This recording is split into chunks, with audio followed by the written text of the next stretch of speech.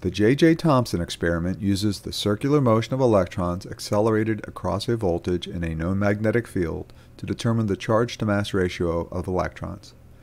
Special care must be taken when measuring the diameter of this circular motion because the configuration of the apparatus can lead to large parallax errors. This animation shows a simplified view of the apparatus. The yellow loops are carefully spaced Helmholtz coils which produce a fairly uniform magnetic field.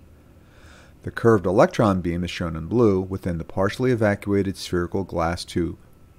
A scale is attached to the back coil which has two important parts. The calibration lines, shown here as white with black lines marking position, and a mirror just above the scale in which part of the electron beam can be seen in reflection.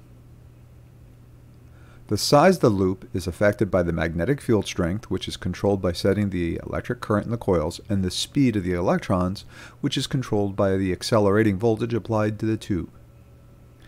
A proper measurement of the beam diameter is done in three stages.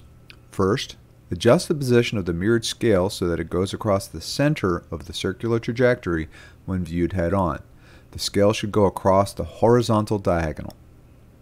Second, using only one eye, Carefully align your viewpoint so that the left side of the circular beam overlaps its reflection.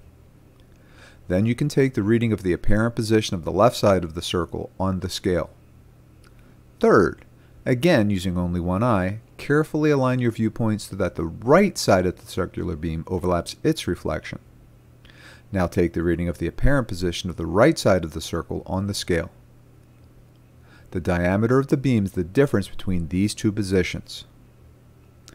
We can double check the left position and double check the right. When viewed from the top, we can see that this technique ensures that the distance between the two points on the scale are the same as the distance between the sides of the circular trajectory.